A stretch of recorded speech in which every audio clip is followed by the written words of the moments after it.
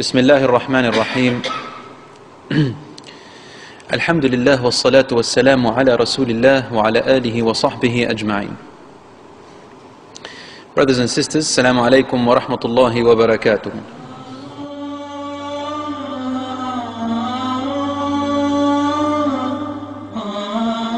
We spoke about how death is the greatest reality. And that Allah subhanahu wa ta'ala said this to the Messenger sallallahu alayhi wa sallam, وَاعْبُدْ رَبَّكَ حَتَّى يَأْتِيَكَ الْيَقِينَ So worship your Lord until the truth comes to you. We also spoke about the journey of the soul immediately after it has died. And we mentioned a very interesting verse in the Quran where Allah says, those who rejected our verses and arrogantly opposed them, the doors of the skies will never open for them until the camel enters through the thread hole of a needle notch. The needle that you sew with has a little hole on, the, on a notch. What's the possibility of a camel entering through that? Allah subhanahu wa ta'ala is saying, meaning they'll never enter it. It's impossible for them to enter paradise or for the doors to open for them in heaven. We also spoke about whether a dead person sees the angels and the angel of death.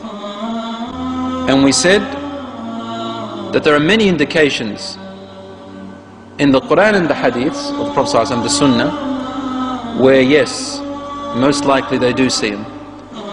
We also spoke about hastening a person's death, uh, um, uh, hastening a person's body to the grave.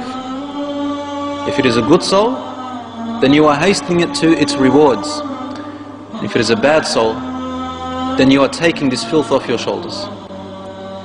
We also spoke about the what happens inside the grave and the questioning of the two horrendous, uh, the two horrendously looking angels. The Prophet ﷺ, when he used to bury the dead with his companions, he used to advise them to stand for a little while, as long as it would take to slaughter, you know, a small calf or something. And he would say, make dua for your brother, وَاسْأَلُوا لَهُ التَّثْبِيتِ He used to say, say this, ask Allah to make him firm. فَإِنَّهُ الْآنَ يُسْأَلُ Right now, he is being questioned.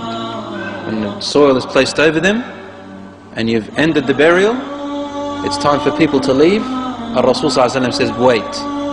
He is being questioned right there and then.